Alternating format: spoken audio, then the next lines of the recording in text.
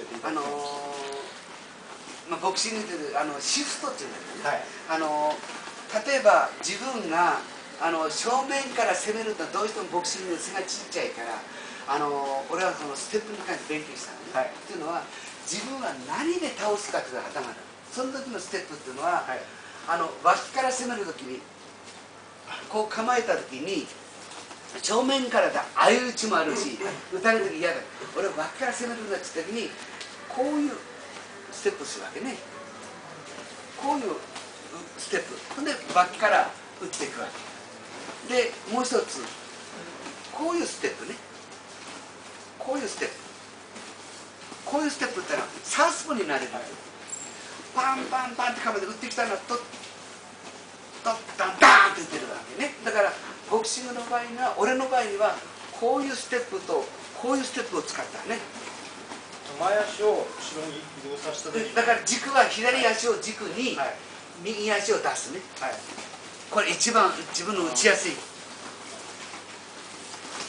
打つ打つ構え俺がアッパーツになったらタッタッってこういう構えね。要するにフックならばこうだよねだ多少ここの構えが変わる。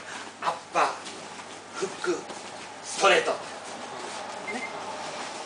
ストレートフックアッパーそれで逆に左足の場合にはあれの場合は相手打ってくるから距離をあの手も短いしで出させないといけないんでサウスポーになるわけね。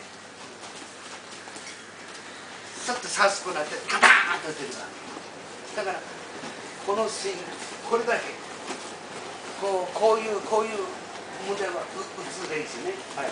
で何かっていうとこっちに来たらにみんな逃げるから俺が来てる。でドン。その時こっちで逃げさせないように必ず押さえちゃう。ね。ダンダンダンダンダンダン。こうずーっとこっちにも回ってくるような。ひ左だけでいい。ね。人今度相手が今度打ってきた時には今度サウスポーになってるからダンダンと打てる。そういうあの2つのステップだけでも十分使える。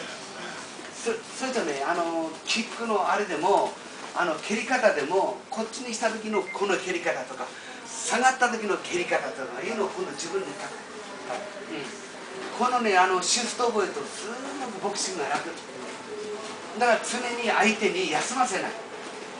ボクシングっていうのは相手に休ませちゃダメなの、ね、自分が休むから相手も休むんだ。よそうじゃなくてうーん相手に絶対休ませない。でも俺休みたい。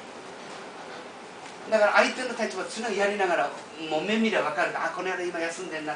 今攻めてくんなっての全部肌で分かるのよ。この読み感反応っていう部分でね。